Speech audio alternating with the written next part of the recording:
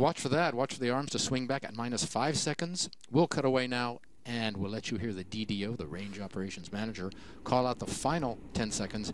Enjoy the liftoff. À tous de DDO, attention pour le décompte final. 10, 9, 8, 7, 6, 5, 4, 3, 2, 1, top.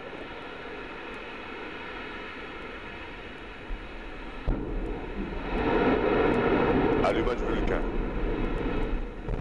Allumage EAP, décollage.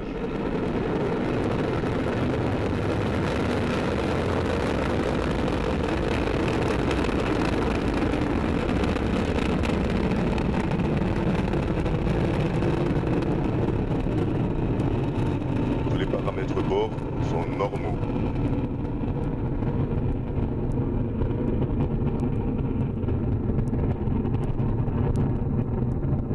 Swung back as scheduled. We had ignition. You saw it, Ariane 5 beginning her mission, rising off the ground here in French Guiana with a lot of fire, beginning her fourth flight of the year right on time at 1730 local, carrying Eutelsat 25B, Es'hail 1, and GSAT 7. Under me, you can hear the DDO's voice saying that all is well on board. Fine shots of a daytime launch, which is not always the case, always impressive no matter how many times you see Ariane powering up into the sky.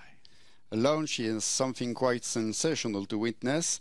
Right now, the boosters are providing over 90% of the total thrust, propelling the launcher along its trajectory at ever higher velocity. Weight at liftoff over 770 tons, which is a lot. She's burning 5 tons of fuel per second, which is also a lot. 2.5 tons in each booster, if you can imagine. And the core stage, the central stage, burning another 300 kilos of fuel every second. Ariane 5 is now following the flight program in the onboard computer, which gives all the commands, including stage separations. We're in the first of four flight phases. The first three are powered, and the last is not. We'll be describing each in turn. You can follow Ariane as she heads east across the Atlantic. Right now, in the first uh, flight phase, the Vulcan engine and the two boosters are burning. The boosters will burn each their 240 tons of propellant in just under two and one and a half minutes. And are the, they have the first we get rid of. You will hear the DDO call out that milestone. in just about 10 seconds. We're heading east, as we said, out over the ocean. The decision to build the French Guiana base here was made in 64 when France wanted a new base, in part for its opening on the water to allow for launches over uninhabited areas. And there you see the boosters. They're the two lights on either side. They have been separated, and the light in the middle is the main stage continuing to burn. That's what it looks like up there with the onboard camera. There's another booster which is out of camera range. The onboard computer detects the drop in fuel and separates them. Is that right? As they had no more propellant to burn, the, the thrust decreased and the onboard computer detected the drop in acceleration and therefore it decided to separate them. Fine shots, as as we mentioned. The sky is so clear, you could see the first stage continuing to burn. Give a, give us a look at the uh, on the upper left, on the lower left of the screen. You have a cursor crawling up there, and then you have some numbers. Uh, we're expecting the fairing separation in a few moments. Go ahead with The your cur- curves uh, represent the, the expected trajectory and the moving white dot is the actual position of the launcher. Below there are two items to look at. A stands for altitude in kilometers and V for velocity in kilometers per second. We've had separation of the fairing right on time. That's what it looks like. There's another half which is out of the camera range.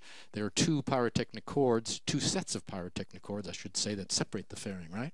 In an explosion. Yeah, uh, but it is very important to emphasize that this small explosion is controlled. So no threat to the vehicle. But uh, is there a reason we separate the fairing now? Of course, because we are out of the dense layers of the atmosphere over 100 kilometers of altitude.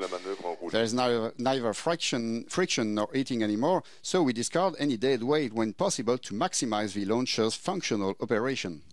We are into the second powered flight phase. Remember, there are four phases in all. The boosters have done their work. Only the single engine burning now, which you saw earlier in the sky. It'll burn for nine minutes. What's the role of the main stage? The key parameter is kinetic energy, so increasing speed is paramount.